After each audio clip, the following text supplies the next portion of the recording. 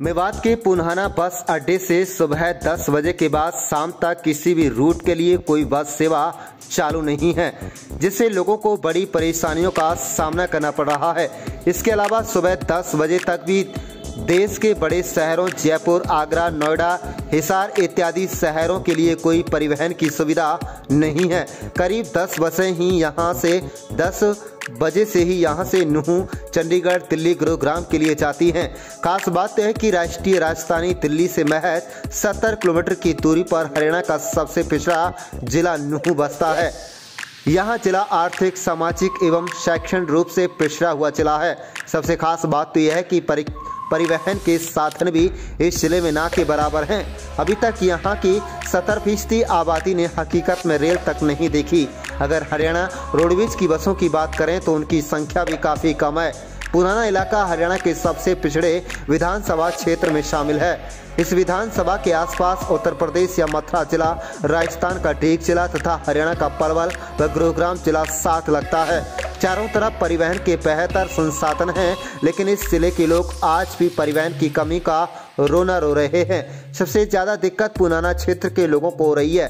इस इलाके में तकरीबन सैकड़ों गाँव हैं, जहाँ महज 10-12 रोडवेज़ की बसों से परिवहन व्यवस्था चलाई जा रही है। आज भी पुनहाना से देश के बड़े शहरों के लिए सीधी बस सेवा नहीं है।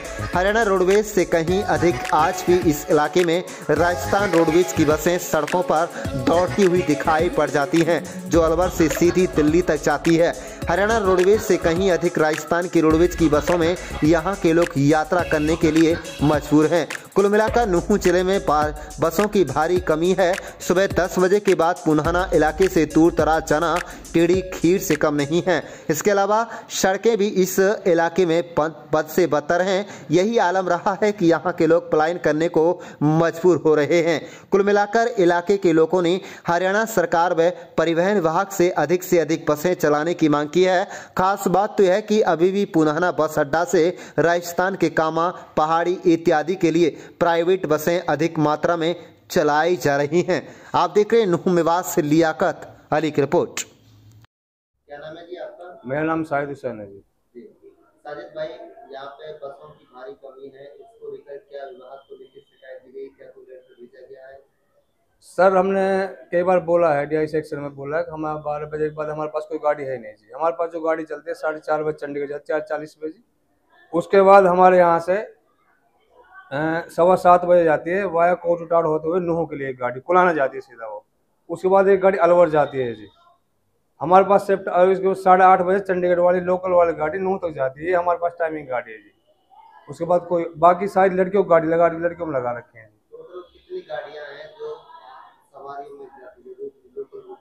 टोटल में बता दिया आपको जी, बाकी लड़कियों को सुबह छोड़ने जाते हैं चार गाड़ी जी। एक तो फिरोजपुर ज़िले के जैन कॉलेज के लिए एक यहाँ फिर पुराना कॉलेज ले गई जी और इधर स्कूलों को लोकल स्कूलों ले जाती है। उसके बाद वो नौ बजे के बाद आती है जी।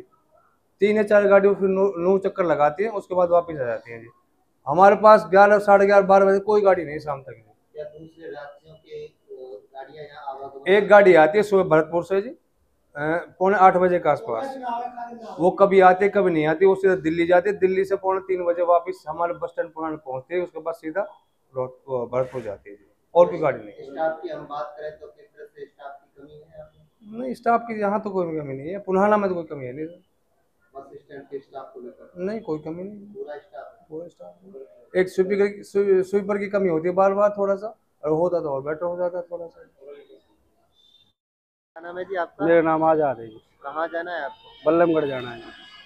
बल्लमगढ़ के लिए कब से गाड़ी का इंतज़ार कर रहे हैं? एक घंटा हो गया कम से कम कोई रोडवेज़ बस नहीं है यहाँ पे। सुबह से कोई बस नहीं है पता यहाँ पता किया तो सुबह से कोई बस ही नहीं है बल्लमगढ़ के लिए। परेशान हुए पड़े जी। बस कितनी बसें यहाँ पे देख रही हैं आप? यहाँ पे एक बस दिख रही है वो भी साइड में खड़ी है। वो कॉलेज की बस। एक बस भी नहीं है। कहीं जाने के लिए। कहीं जाने के लिए। क्या मांग करना चाहेंगे आप? यही मांग करनी चाहेंगे यहाँ पे कोई रोडवेज़ बस रोड बस लाओ बस आनी चाहिए। सभी रूटों के लिए। बच्चे परेशान है यहाँ के सब बहुत यात्री वो सब परेशान है जी। आने की बहुत ज़्यादा ज़रूरत है जी। किस तरह से? जैसे और रोडवेज़ बस स्टैंडों पे दौरा कर रहे हैं यहाँ भी आके दौरा करें ना वो पता चल जाएगा कि रोडवेज़ बस है नहीं है यहाँ पे इसके लिए। बिल्कुल सुनसान है। कोई नहीं है कोई नहीं है यहाँ पे। आपको भी पता देख रहे होंगे कोई अधिकारी कोई नहीं है यहाँ पे।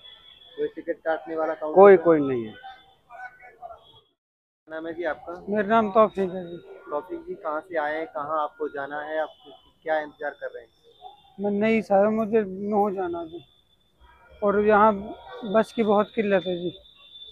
बहुत कम बस चल रही कोई सवारी सवारी ऑटो से जाने सवारी को बहुत परेशानी का सामना करना पड़ता है यहाँ यहाँ हर आधे घंटे बाद बस चलनी चाहिए जी। परिवहन विभाग के अब मंत्री अनिल विज हैं। क्या कहना चाहेंगे? क्या उम्मीद है? उम्मीद है बहुत ज़्यादा अब हमारे लिए बहुत कुछ करेगा अनिल विज जी। और और उस, उस, तो उसे। अनुरोध है से ज़्यादा से ज़्यादा बस चलाई जाए यहाँ से जी। आधे घंटे बाद। जी और जगह जैसे विज़िट हो रहा है बस अड्डों और- यहाँ भी होना चाहिए जी। और ज़्यादा बस आनी चाहिए यहाँ कम से कम बस की बहुत ज़्यादा दिक्कत है यहाँ जी। आकमदीन हाकम जी कहाँ से आए कहाँ जाना है? बादल साइंस दिल्ली जा रहा हूँ। तो किस तरह से पुराना बस स्टैंड में क्या कर रहे हैं? रोड बस सवारी तो एक भी नहीं है पुराने स्टेशन पे अब वैसे ही जाना पड़ेगा कब से इंतज़ार कर रहे हैं? एक घंटा हो गई बैठे बैठे क्या सरकार से मांग करते हैं? रोडवेज़ की मांग कराएँ रोडवेज़ आ जाए तो क्या नुकसान होगा इसी समय पे? रोडवेज़ नहीं है नुकसान तो बहुत हो रहा है सवारियों को। मेरा नाम निसार है जी। पुनाना बस स्टैंड से। पुराना बस स्टैंड की हम बात करें। यहाँ पर किस तरह से बसें चलती हैं? समय पर नहीं मिलती क्या कहना है? सर यहाँ सुबह ग्यारह बजे से और शाम तक कोई बस नहीं है नूह की। सवारी को आने जाने में बड़ी कठिनाई सहनी पड़ती है जी। और जो लोकल सवारी चल रही है वो मनमानी करती है सवारी के साथ। बहुत ज़्यादा गलत हो रहा है सर ये। तो किस तरह से अब तो परिवहन विभाग अनिल विज के साथ है?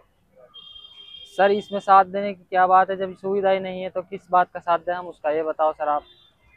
वो दौरा भी कर रहे हैं। यहाँ दौरे की ज़रूरत है? जी। यहाँ विज़िट करने की ज़रूरत है उसे सर। यहाँ विज़िट करे वो। ताकि उसे पता लगे कि लोग यहाँ कितनी कठिनाइयों का सामना झेल रहे हैं। पुराना बस स्टैंड में जी।